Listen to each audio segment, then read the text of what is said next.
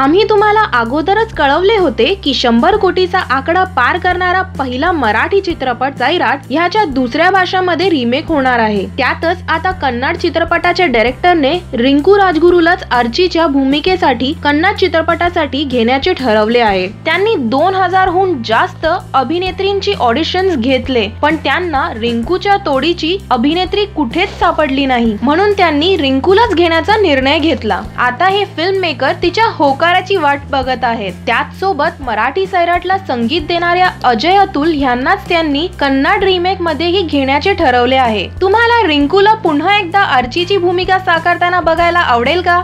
द्वारे आम्हाला जरूर कळवा मराठी सिनेसृष्टीच्या ताज्या अपडेट्स आणि गॉसिपसाठी आमच्या चॅनलला सबस्क्राईब करायला विसरू नका